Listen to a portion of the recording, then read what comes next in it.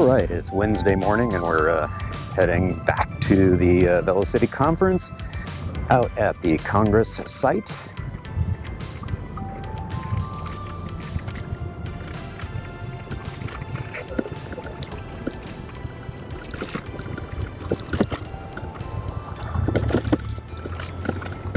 Another pleasant morning.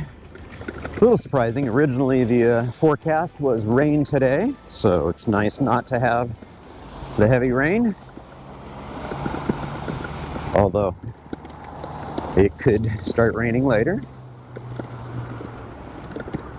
It is spring after all. By the way, my good friend Mark with Bicycle Dutch has an excellent video that he published yesterday uh, of the reverse ride going from the conference venue site back here to the city center. I'll be sure to provide a link in the video show notes below so that you can reference that wonderful video.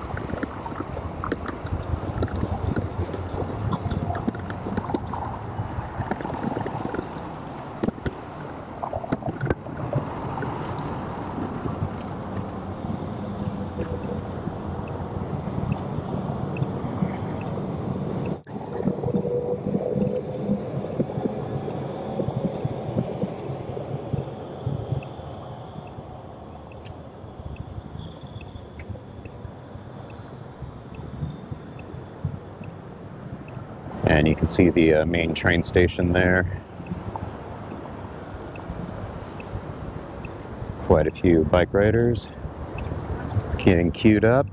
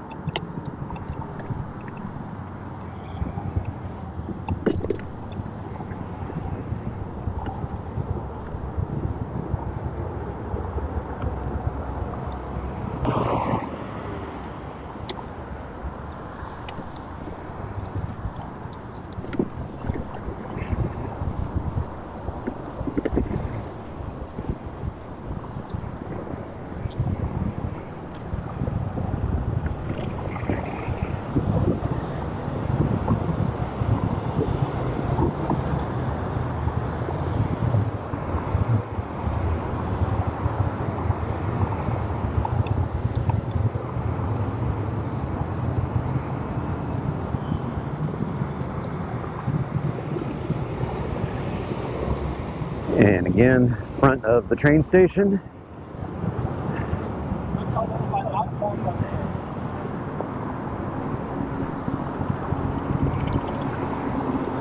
through the magic of video editing, I want to take us back in time to the night before, uh, where I actually experienced a Vision Zero rally happening at this exact location.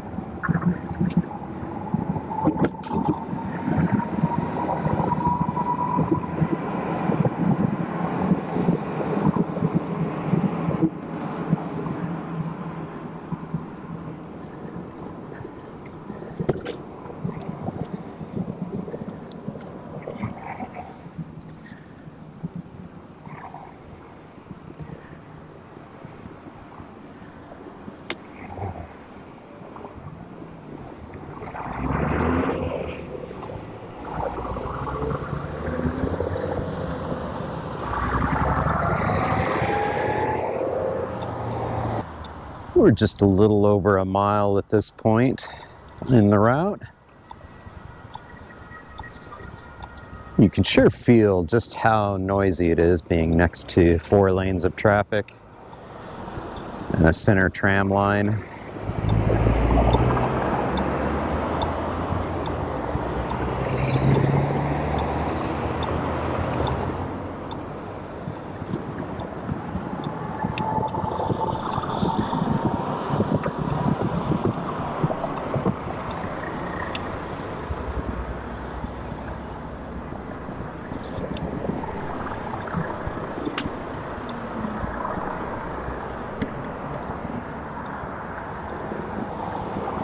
I wasn't gonna jump that curb. I've already got one broken spoke on the back wheel. I can't afford another one.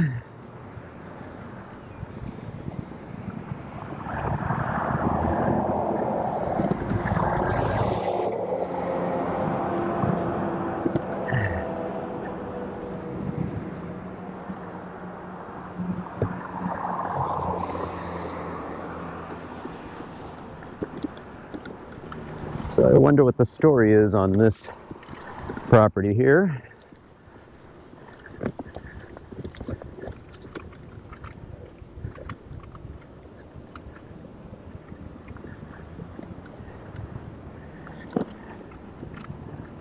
Looks like a pretty massive redevelopment opportunity.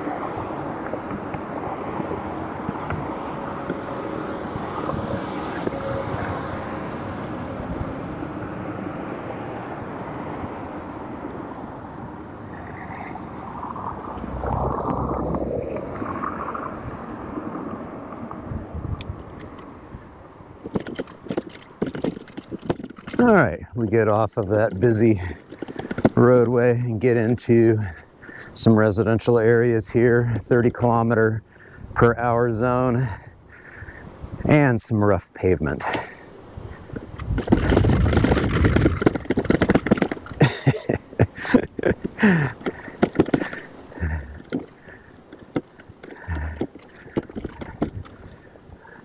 This street could definitely use some smoothing out.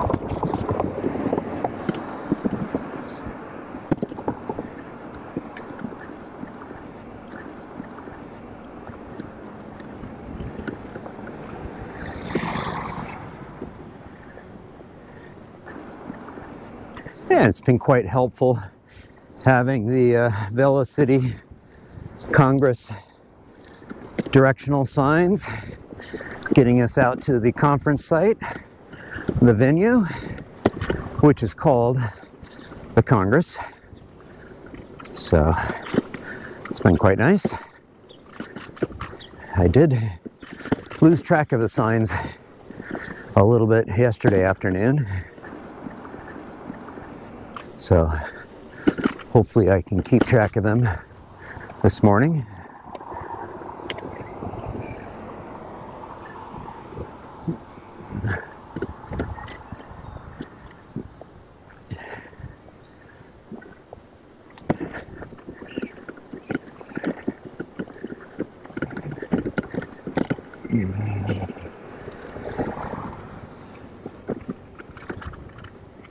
Yeah, nice, delightful little park over here.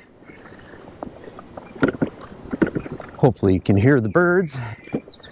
They're quite happy. It's a beautiful morning. It's a little crisp, not too bad.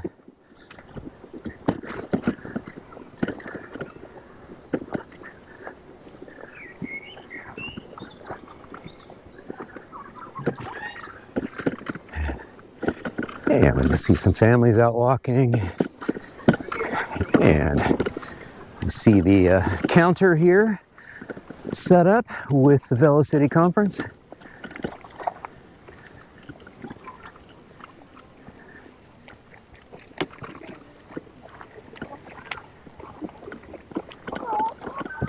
Yeah, nice little uh, preschool push bus there in the park. There's some out having some fun.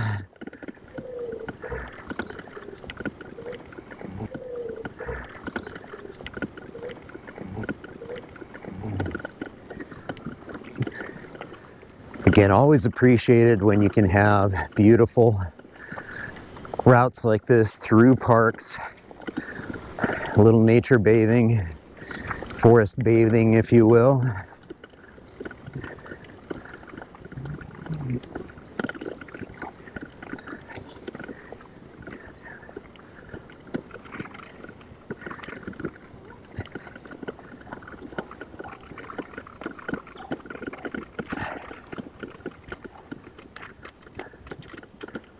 And we're coming up to our cool little narrow pathway.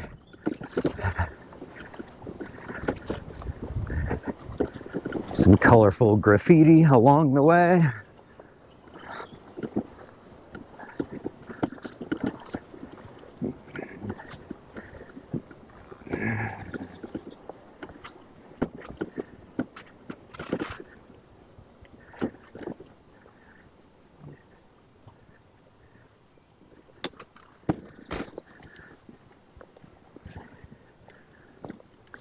See these uh, relatively recent tree planting bins there with some cuts in it, rain garden cuts, to be able to uh, help filter the water, get it in, feed those trees.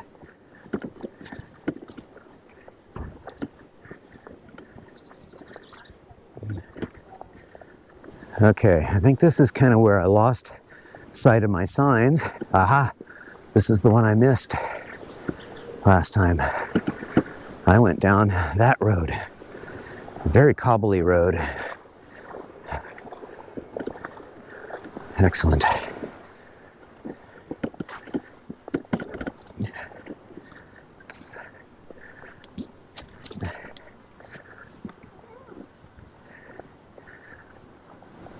Although this looks familiar,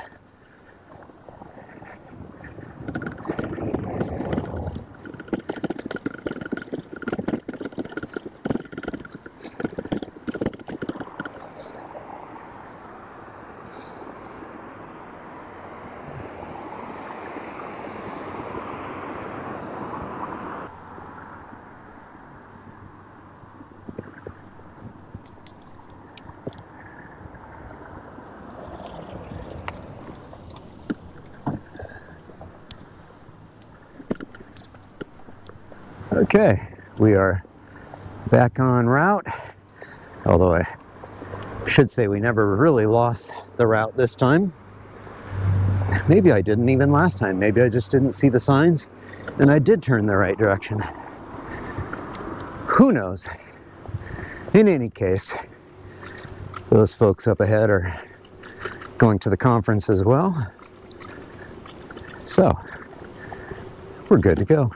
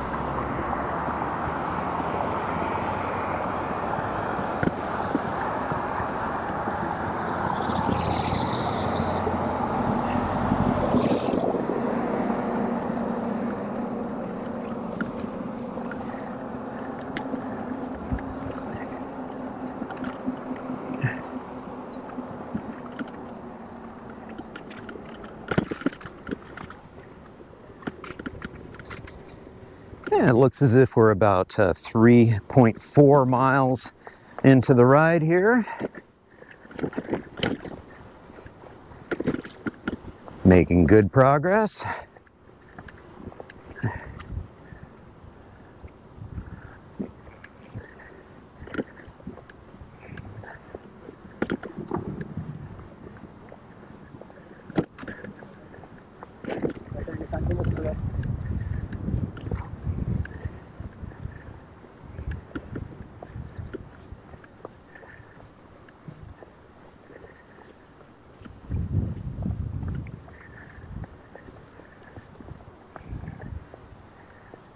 I'm actually getting a little warm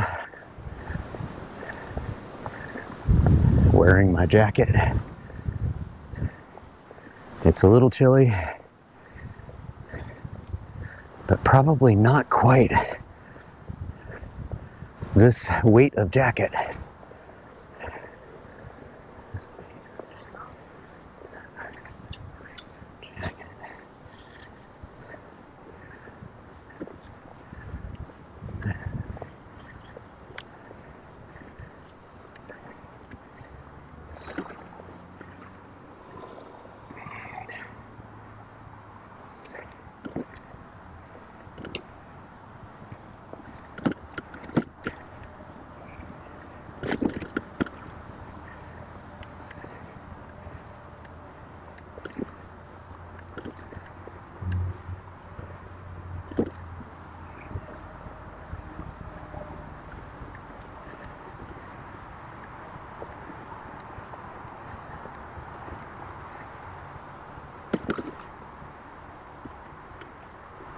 And off to the right is a, an expressway. Just barely hear it at this point. Nice being on our little tunnel of trees away from the noise and pollution. Super, super comfortable and pleasant. This is a smooth asphalt path through here. You can see some of the backyards of some of the local residents. And they do have gates to access the pathway, the trail as well, which is always quite nice. And connection into the neighborhood there.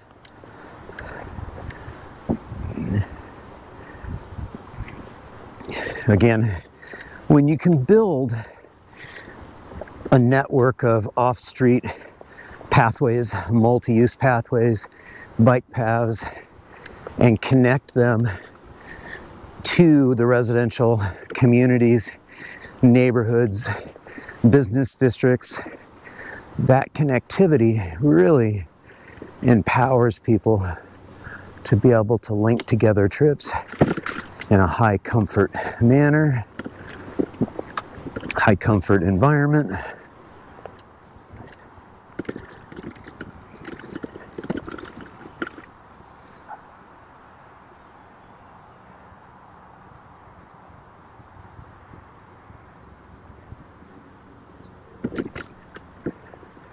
And again, connectivity into that neighborhood there.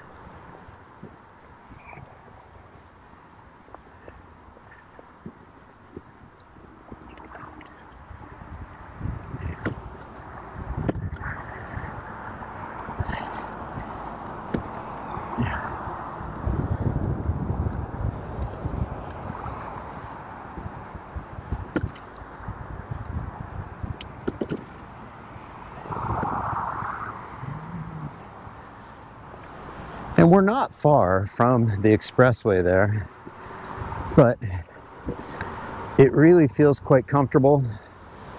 And even when loud, fast moving cars are right there, the trees help. You'll be able to tell the difference when we lose the trees in a moment.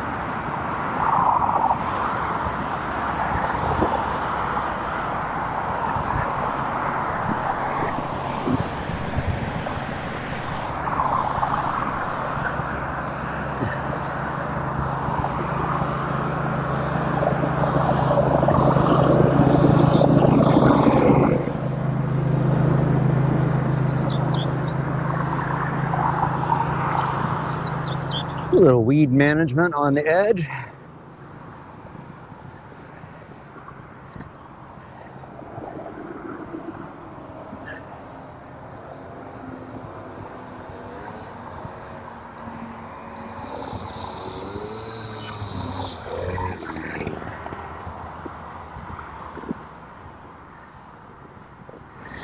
Great example of trail side management techniques so necessary to maintain your pathways and trails once you've built them.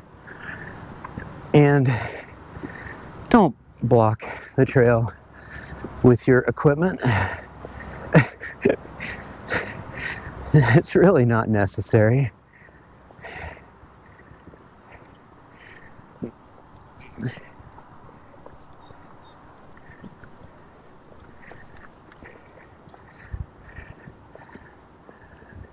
They literally could have positioned right here or over there.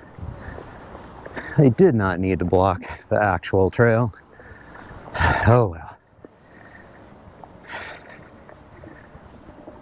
They got it 75% right.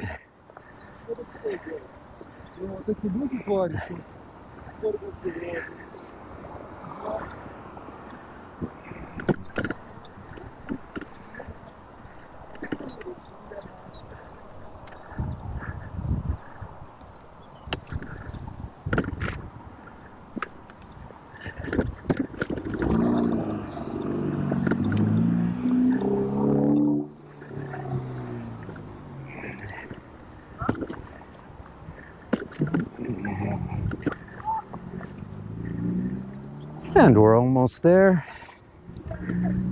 Just on the other side of this tower.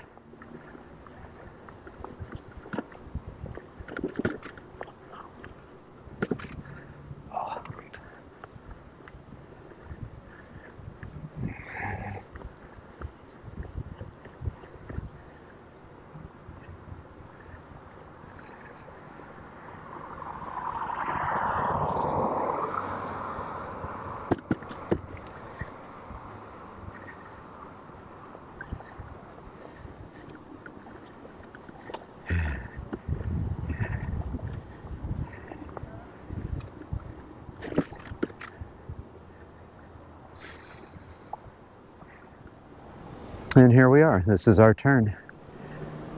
And we descend down into the facility.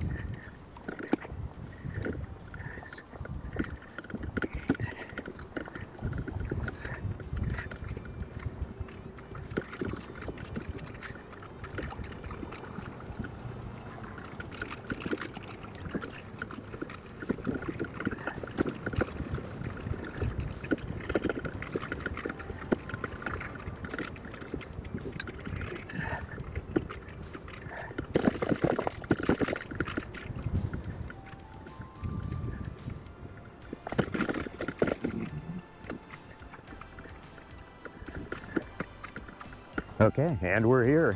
Uh, day two of the conference on Wednesday, May 10th, and uh, I'm gonna swing on over here and lock the bike up in the uh, guarded bike parking. So total distance for the ride was about five miles or eight kilometers. Uh, it took me 37 minutes and the average speed of about 11.2 miles per hour or 18 kilometers per hour. Hey, huge shout out to the Velo-City Conference team for uh, the wayfinding signs. That really helped out a lot. Hey, thank you all so much for tuning in. Hope you enjoyed this ride along video in Leipzig, Germany. And if you did, please give it a thumbs up, leave a comment down below, and share it with a friend. And if you haven't done so already, I'd be honored to have you subscribe to the Active Towns channel. Just click on that subscription button down below and ring the notifications bell. And if you are enjoying this content, please consider becoming an Active Towns ambassador by supporting me on Patreon, uh, buy me a coffee, or uh, buying things from the Active Towns store. I've got a bunch of uh, Streets Are for People merch out there, and you can also make a donation to the nonprofit as well. Uh, until next time, this is John signing off by wishing you much activity, health, and happiness. Cheers. And again, sending a huge thank you out to all my Active Towns ambassadors supporting the channel on Patreon, Buy Me a Coffee, YouTube Super Thanks, as well as making contributions to the nonprofit and purchasing things from the Active Towns store. Every little bit adds up and it's much appreciated. Thank you all so much.